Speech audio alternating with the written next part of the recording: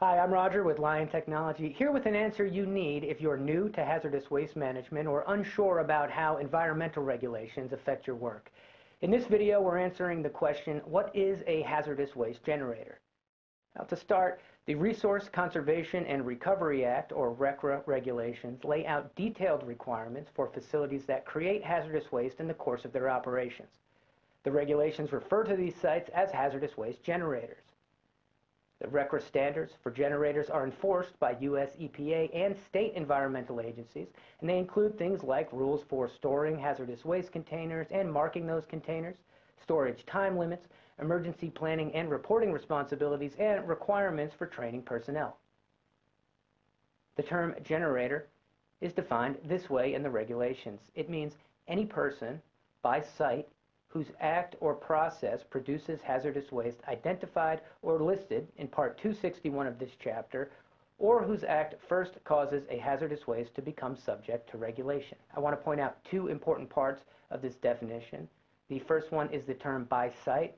This tells us that for businesses or others that operate multiple facilities or locations that generate hazardous waste, each distinct one is individually responsible for compliance with the RCRA generator regulations.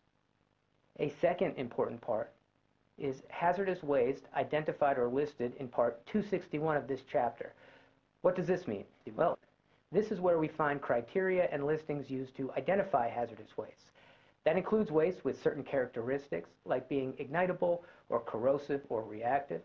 It includes many used and unused commercial chemical products, and it includes waste produced in specific industry sectors or even by specific processes. The federal RCRA regulations divide generators into three size categories, large quantity generators, small quantity generators, and very small quantity generators.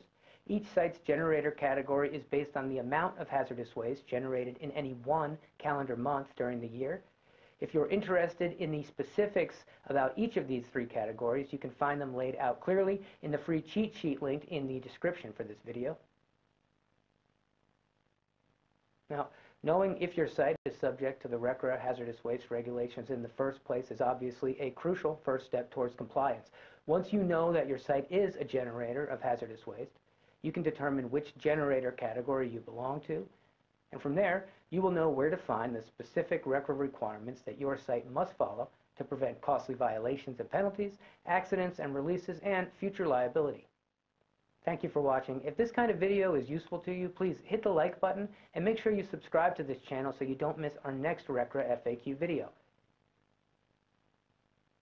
If you need training or annual refresher training to comply with the RCRA hazardous waste regulations, you can find it in several convenient formats at lion.com, in-person workshops, live webinars led by Lion instructors, and a variety of self-paced online courses for managers and personnel at different levels of experience and responsibility.